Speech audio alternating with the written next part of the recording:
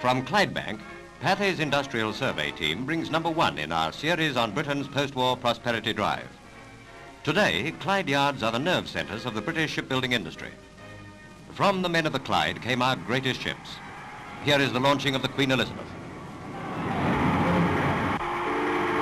Another great sea liner, the Queen Mary. And the pride of the fleet, the 45,000-ton battleship Vanguard. During 1946, the Scotland ship production figures totaled almost 400,000 tons. From the Clyde came 103 ships. New records will be made in 1947. Britain will launch a ship a day, more than the rest of the world put together. Clyde yards alone will handle orders amounting to 630,000 tons.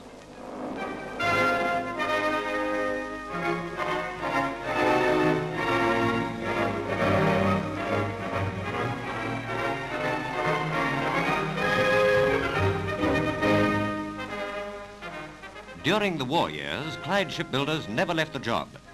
They built the ships Britain needed for survival.